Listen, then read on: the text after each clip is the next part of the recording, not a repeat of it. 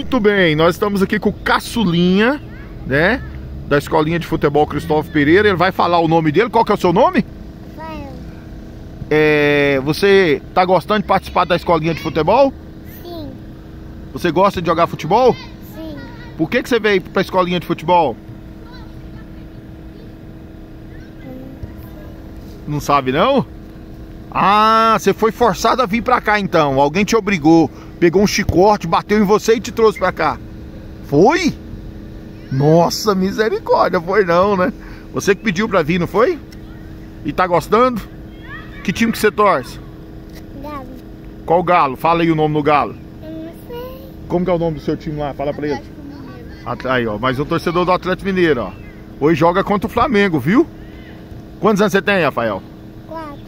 Quatro. Anos? Qual posição?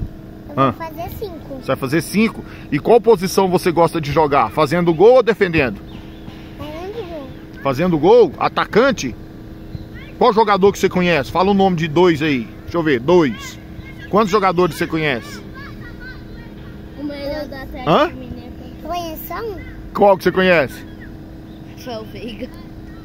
Não, ele ia falar ali, mas vocês atrapalharam ele, ó. Fala aí o nome desse que você conhece. Lá do Galo você conhece algum jogador? Tem um que faz assim, ó, ó. O Hulk. Conheço. Tá bom, esse é o Rafaelzinho. Falando conosco aqui, nosso caçulinha, né, Rafael? Valeu? Olha pra cá. Um abraço. Valeu, Rafafinha.